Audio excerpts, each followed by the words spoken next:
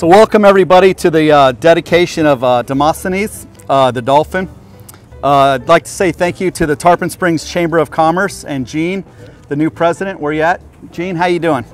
Uh, they're doing a whole lot here for businesses in the chamber, uh, Tarpon Springs Chamber for the city and locally. Been involved in them for years.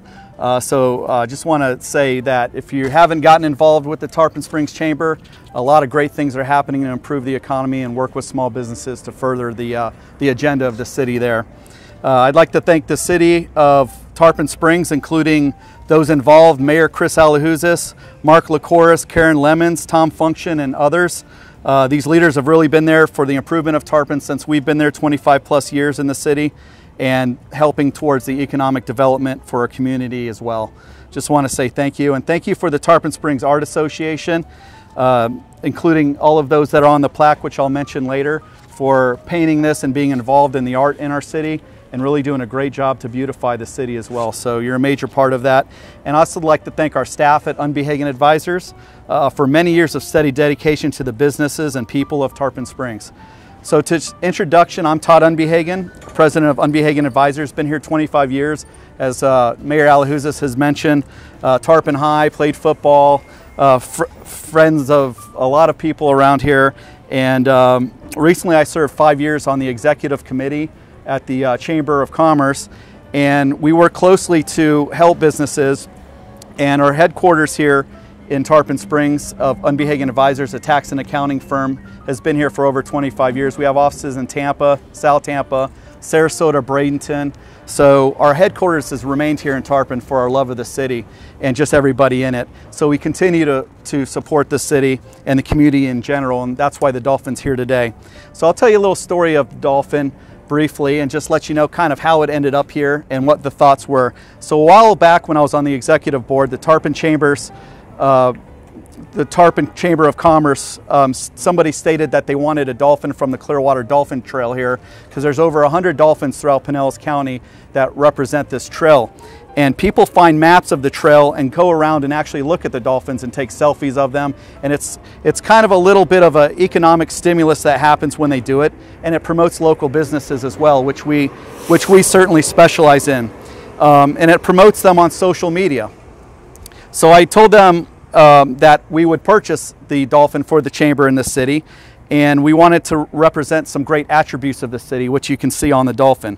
We wanted to keep the art local with local artists as well, and we wanted to have a committee to decide on the Tarpon Springs Art Association artists that would, that would paint it.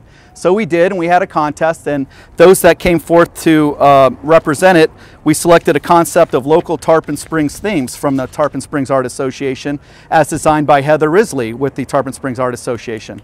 So we want to say congratulations. There's Heather.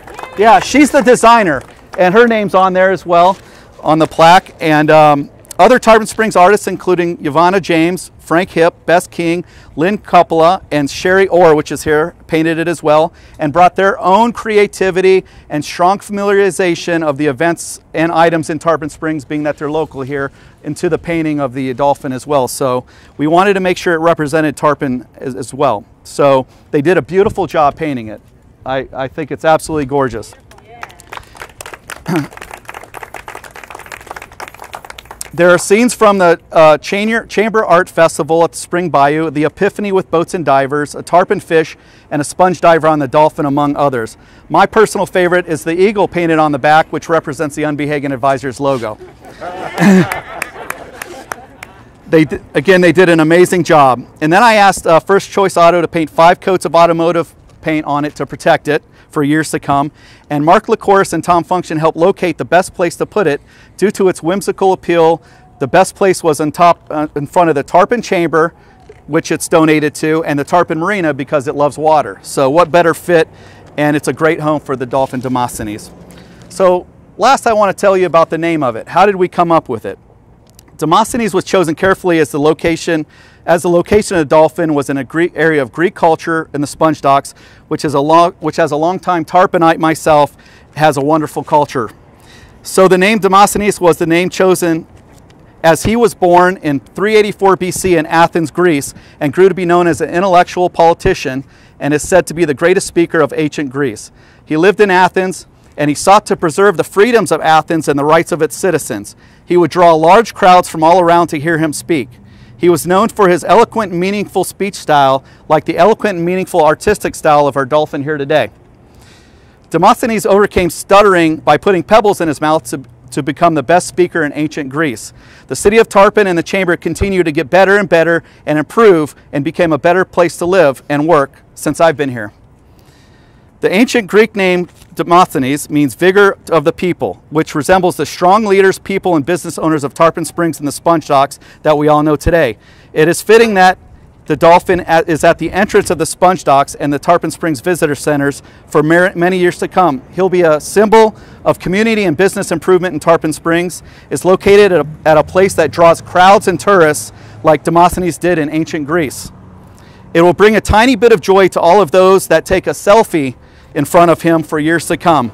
So before you leave, don't forget to take a picture with Demosthenes the dolphin. And if you're on social media, media be sure to hashtag Demosthenes. Thank you.